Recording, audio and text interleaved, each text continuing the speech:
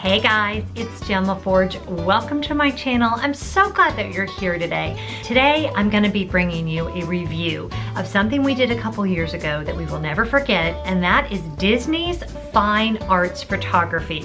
And I'm glad that you're here.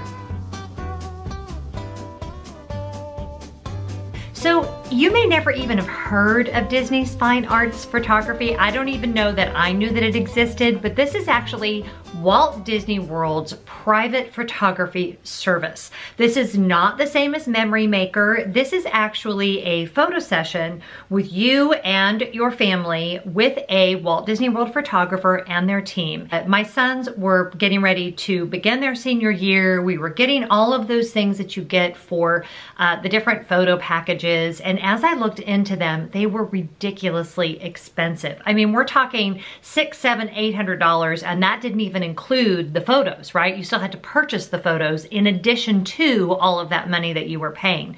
And with two kids and them starting their senior year and also looking at paying for college, we were looking for ways to economize. So normally you would not necessarily think of the words economize and Walt Disney photography in the same uh, sentence.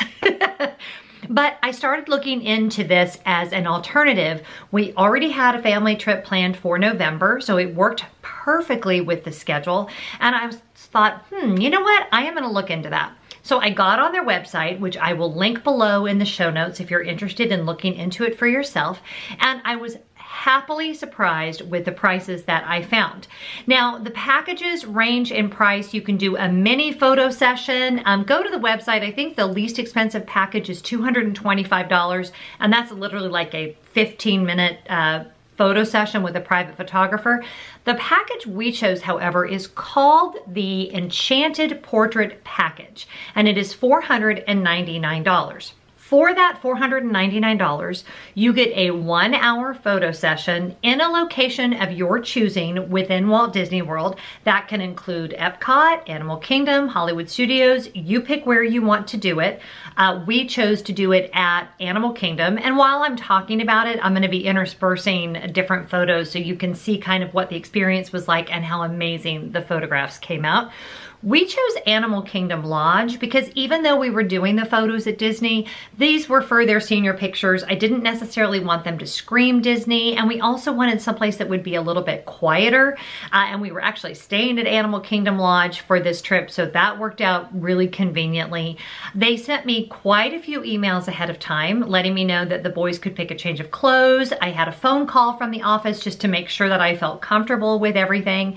And the big thing about that price you pay for that $499, you get the one hour photo session at the place of your choosing. Oh, by the way, that's up to 40 people in that photo session. So we did it just for the twins uh, senior photos, but obviously if you were had a big family reunion or a group of people or you just wanted to do your family, I know people that have done it at the yacht club and the beach club, great backdrops by the way for pictures.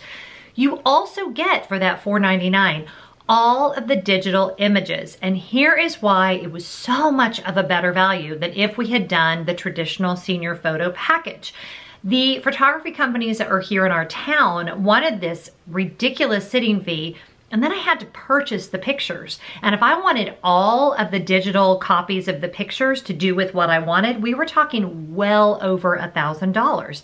And that money I paid for Disney Fine Arts Photography came with, right in this package here, a disk drive right here that actually contains all of the full size digital pictures. So these are not like just thumbnail size pictures. These are not just for sharing on social media.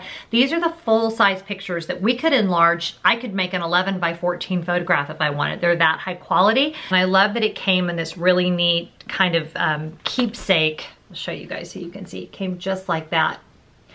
So price-wise, I was like, okay, I'm actually saving money and I'm going to get to do a photo session with both of them in a place that they both love. Um, it was important to me that we did, of course, a lot of photos with them individually, and then I did definitely want some photos of them together.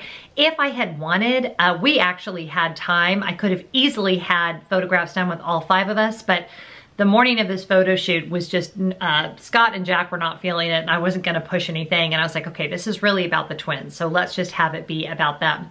We arrived at Animal Kingdom a little bit early from our assigned time and our photographer and his team were actually with another family and they were doing adorable shots there in the lobby of the Animal Kingdom Lodge.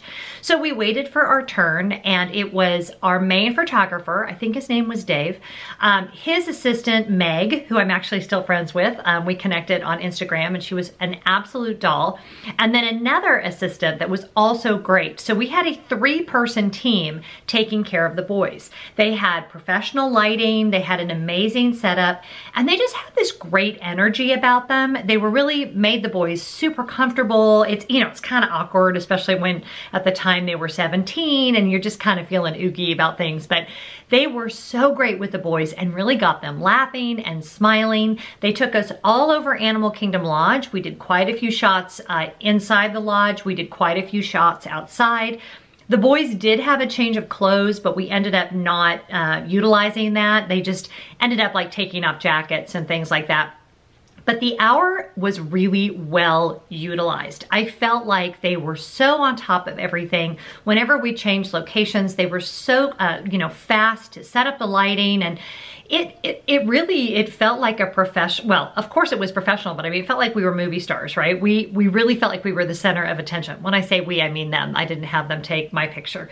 But we laughed a lot. We felt very comfortable. And at this point, all I knew was that this was a great experience very professional, very well run, and I felt like we were in the hands of a master photographer. So after the photo session, um, I think it was about two weeks later, I got the digital downloads right away, and then it took a couple of weeks for this one to show up. And once I started looking at the pictures, you guys, I was just floored by how great they came out. I could not have been happier. And again, I didn't have to go through a bunch of proofs and pick pictures that I wanted. I owned every single picture that they took. So I just wanted to share that with you guys today and let you know um, people that I have heard of doing it, it, like I said, is everything from, of course, like a wedding or an anniversary, also a family reunion. If you just want to go down and do your family pictures, I know a lot of people do it, um, you know, at the beach club there and in front of the water is a really beautiful setting. And of course, you can do any of the theme parks. Um, I just talked to my friend Allison, WDW Girl. I know that their family did one in Epcot at the UK Pavilion that was really, really special. So you do need to keep a couple things in mind. If you're going to go into one of the theme parks, everyone that's gonna be part of the photography session does need to have valid theme park admission for that day.